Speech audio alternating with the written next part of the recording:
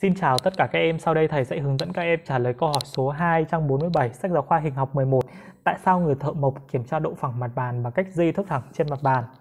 Các em có thể quan sát hình 2.11 và áp dụng tính chất 3 Nếu một đường thẳng có hai điểm phân biệt thuộc một mặt phẳng thì mọi điểm của đường thẳng đều thuộc mặt phẳng.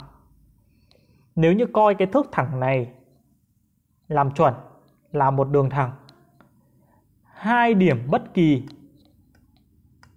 uh, của đường thẳng đều thuộc vào mặt bàn suy ra mọi điểm của đường thẳng đều thuộc vào mặt bàn. Khi đó thì mặt bàn của ta trở thành mặt phẳng đúng không? Như vậy thì mặt bàn của ta sẽ phẳng. Ngược lại nếu như có một điểm thuộc vào mặt bàn nhưng một điểm khác lại không thuộc vào mặt bàn. Thì đó, khi đó thì không phải là mọi điểm của đường thẳng đều thuộc mặt bàn.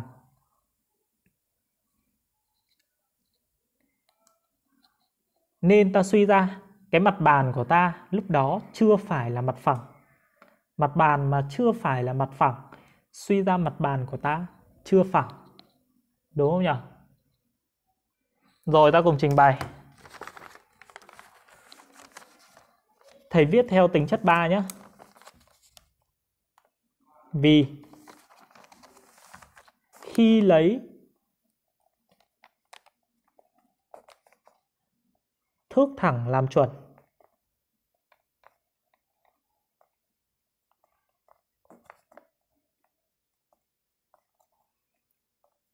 thước thẳng sẽ đại diện cho đường thẳng.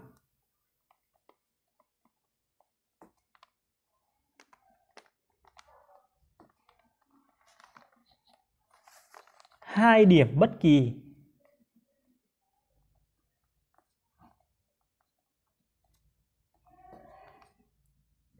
của đường thẳng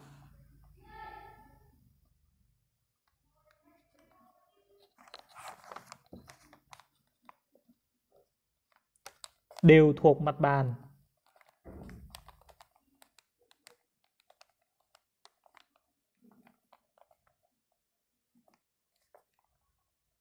Thì mọi điểm của đường thẳng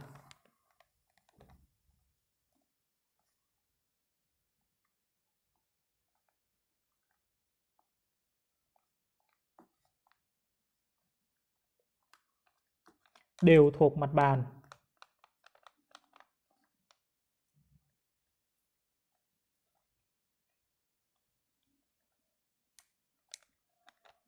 Khi đó, mặt bàn trở thành mặt phẳng.